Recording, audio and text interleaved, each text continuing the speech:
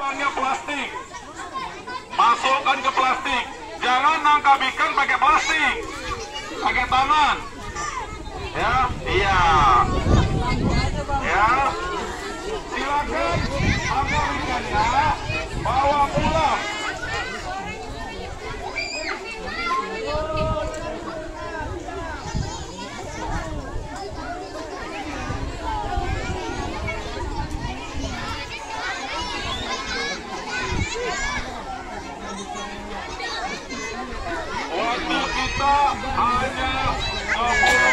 Untuk nangkap ikan.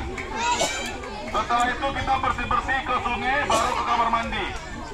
Oke, silakan tangkap ikannya, masukkan dalam plastik, minta plastiknya sama abang kakaknya. Siap, siap.